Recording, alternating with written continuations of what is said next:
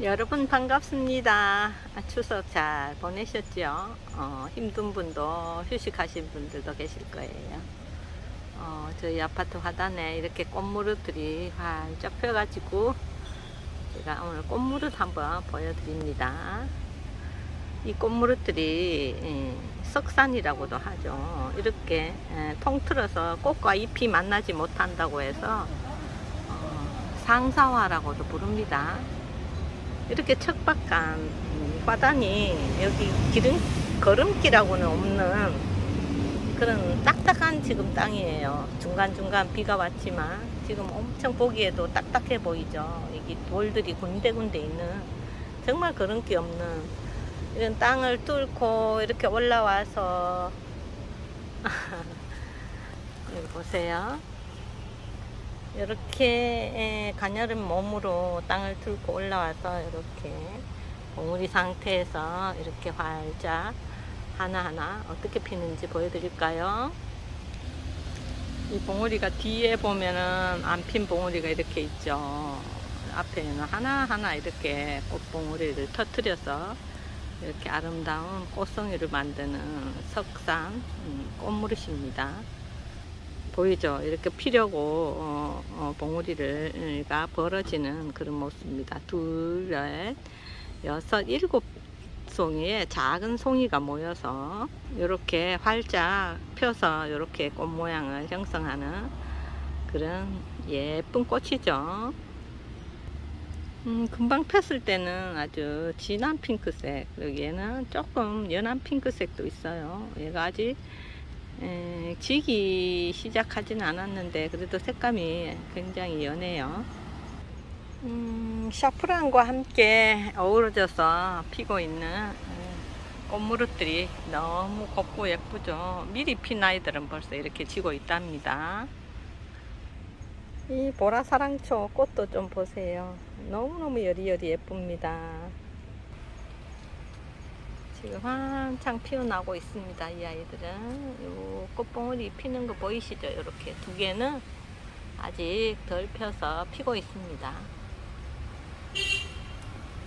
여기 보여드릴게요. 이렇게 피려고 하는 아이 여기는 절반 좀 폈네요.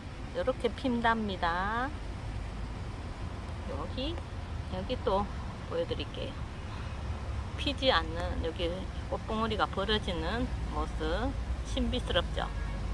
이는 하나만 안 피었어요. 활짝 폈어요. 지금 두 송이가 이렇게 붙어 있으니까 송이가 굉장히 커 보이죠? 보라사랑초와 샤프란과 꽃무릇이 어우러진 저희 아파트 화단입니다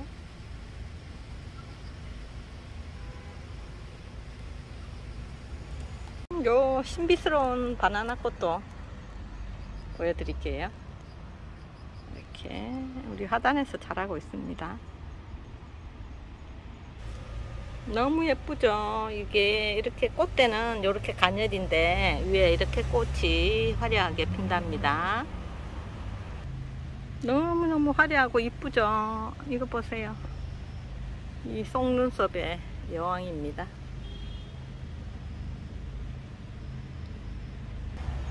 보세요.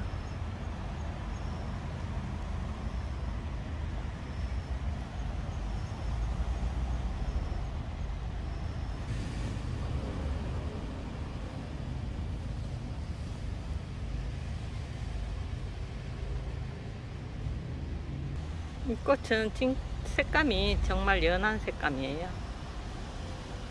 더 부드러운 색감인데 햇빛 이거 카메라 특성상 조금 진하네요. 씨앗 한번 보여드릴게요. 이렇게 마늘처럼 마늘 쪽처럼 생겼어요. 어린 양파처럼도 생겼죠. 이렇게 생겼답니다.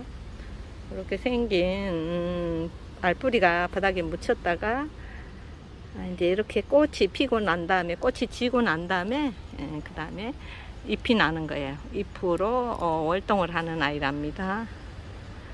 겨울에도 초록초록한 잎이 또 어, 부추 두꺼운 부추 정도의 사이즈로 어, 겨울이 나고 그 그 다음에 잎이 다 지고 이렇게 예쁜 꽃이 피는 그래서 꽃과 잎이 만나지 못한다고 해서 상사화라고 부르기도 한답니다.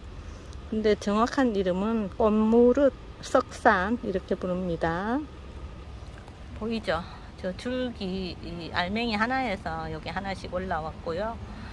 어, 꽃을 원래 못 본 아이들은 저렇게 푸르 초록초록하니 새잎이 나오고 있죠. 보여드릴까요?